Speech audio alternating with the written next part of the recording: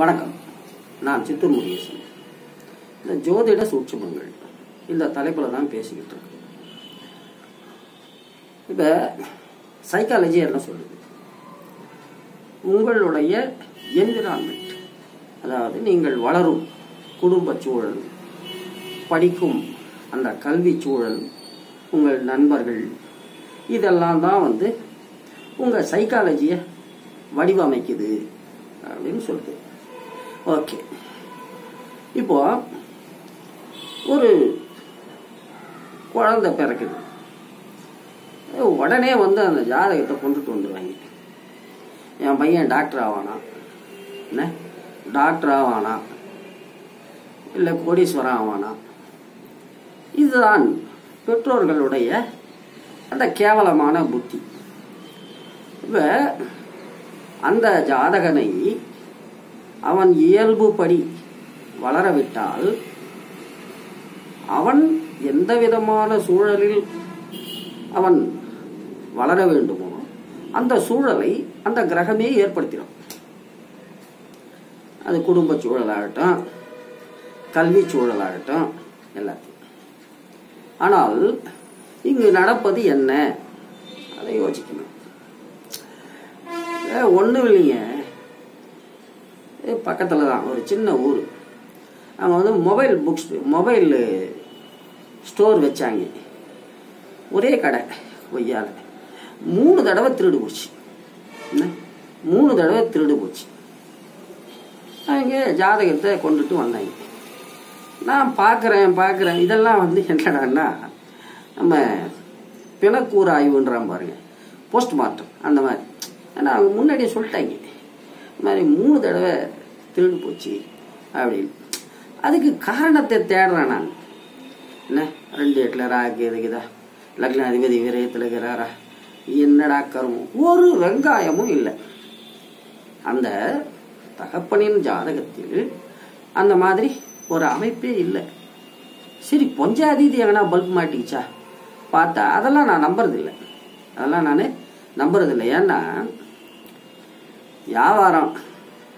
அது முதலீடு வந்து பஞ்சாதி ஆட்டா வீட்டிலேருந்து கூட வாங்கின்னு வரட்டும். ஆனால் அவ தலையெடுத்து வேலை செய்யாது. ஒன் ஹூ மேக்ஸ் டெசிஷன் அவன் தலையெடுத்து தான் வேலை செய்யும். சரி பார்ப்போம். அதையும் பார்க்குறேன் அதுலேயும் ஒன்றுங்க என்னங்கடா இது ஒம்பா போச்சு?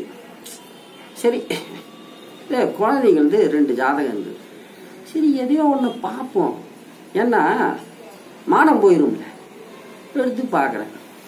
பையனுடைய ஜாதகத்திலும் அந்த மாதிரி திருடு போகிறது பிக் பேக்கெட் போகிறது அந்த மாதிரி எந்த அமைப்பும் இல்லை. பின்ன ஏண்டா திருடு போச்சு? அப்படின்னா அந்த ரெண்டு குழந்தைகளும் ஸ்கூலுக்கே போகப்படாது. ஸ்கூலுக்கே போகப்படாது. அப்பா ஆகி சும்மா இருப்பாங்களா?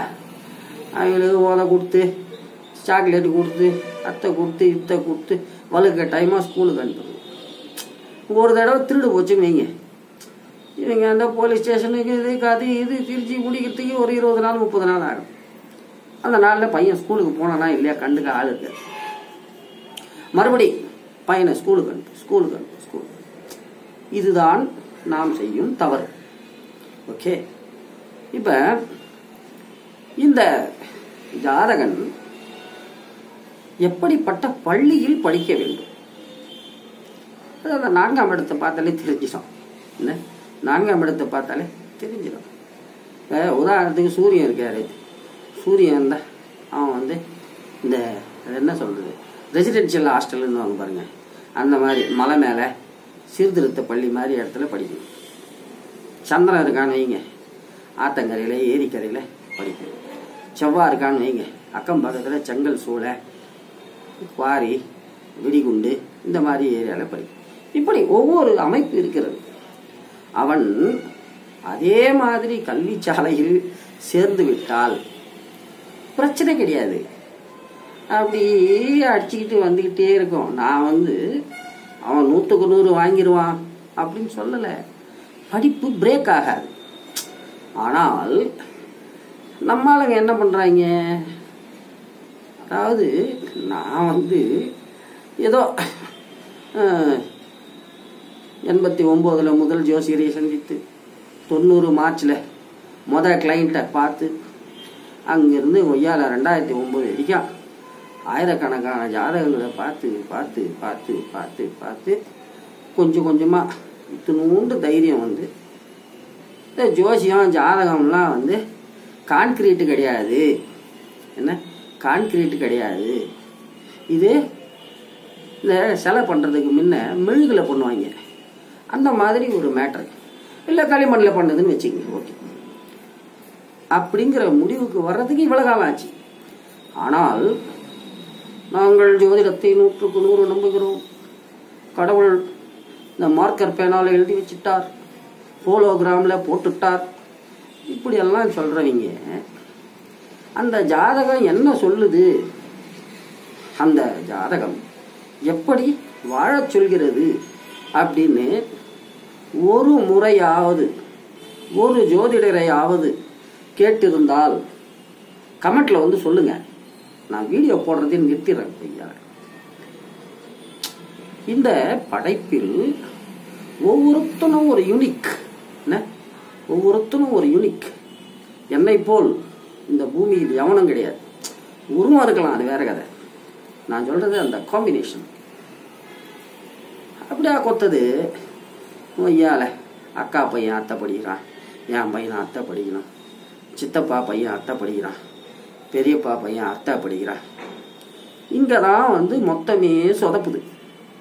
அதாவது உங்கள் ஆக்சுவலாக இந்த ஜோதிட நம்பிக்கையாளர்கள் கடவுள் விதியை எழுதிவிட்டாரு அப்படின்னு எஞ்ச நிமித்துறாங்களே அவங்க வந்து ஜாதகத்தையும் நம்புறதில்ல கடவுள்லாம் நம்புறதில்லை.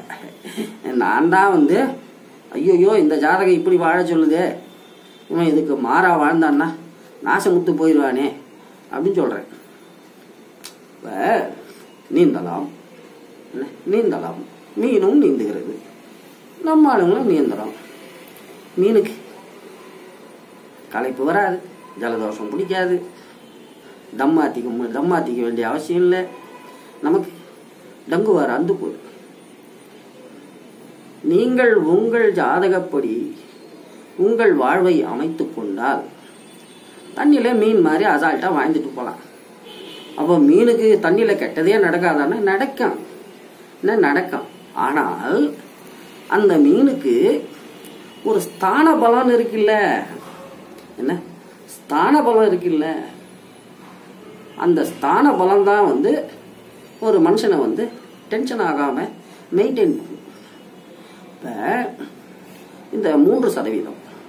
இந்த பக்கிங்க வந்து எப்போ பாரு நான் அவன் இல்லை நான் அவன் இல்லை நான் அவன் இல்லை நான் அவன் இல்லைங்கிற மாதிரி நான் உங்களில் ஒருத்தன் இல்லை நான் உங்களில் ஒருத்தன் இல்லை நான் தனி நான் தனி நான் தனி அப்படின்னு ஒவ்வொரு மேட்டர்லையும் வந்து சொதப்புறான்.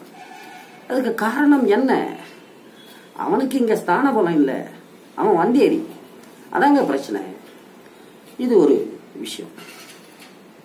அதாவது உங்கள் ஜாதகம் உங்களை எப்படி வாழச் சொல்லி இருக்கிறதோ அப்படி வாழ வேண்டும். அவ்வளோ இப்போ உதாரணத்துக்கு ஒரு ஜாதகம்.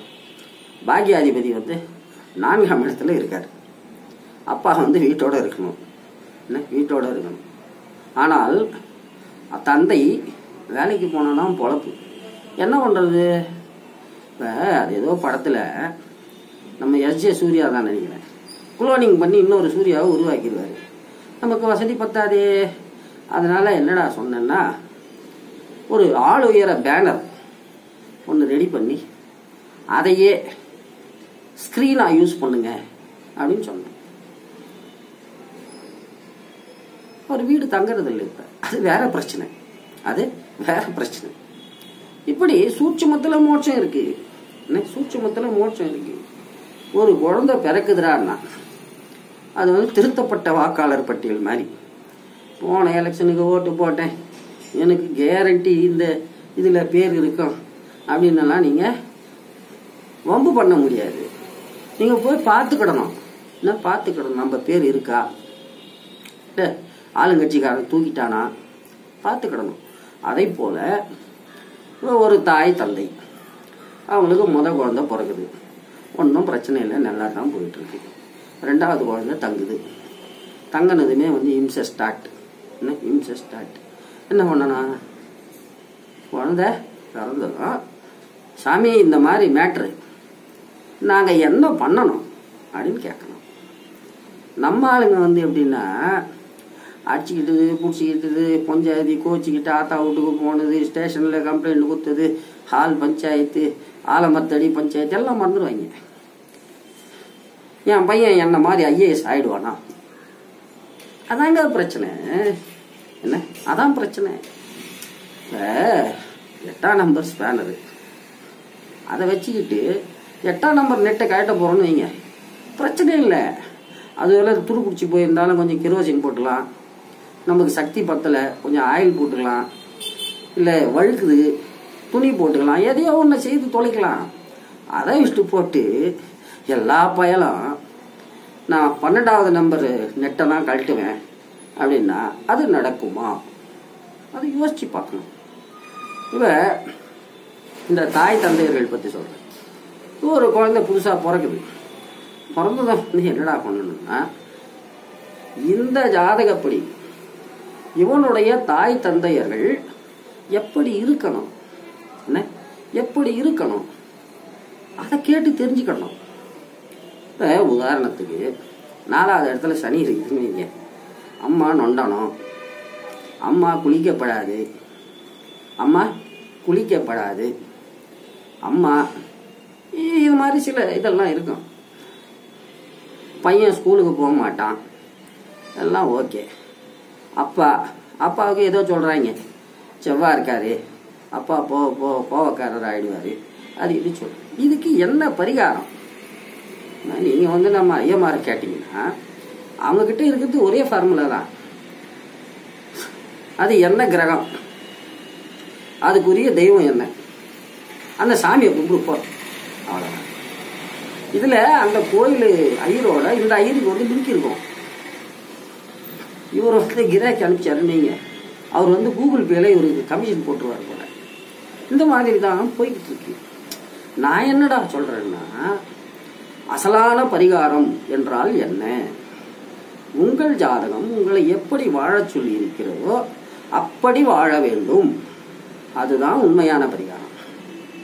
இப்போ அதுக்காக ஒருத்தன் நிர்வாணமாக தெரியணும்னு இருக்குன்னு வைங்க. அவன் நிர்வாணமாக தெரிய முடியாது. ஏன்னா we are having social life also அப்போ என்ன பண்ணலாம்? வீட்டுக்குள்ள ஜட்டியை போட்டுக்கிட்டு அலையலாம்.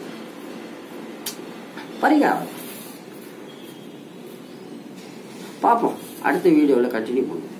நன்றி வணக்கம். சித்தூரில் இருந்து பேசுகிறேன்.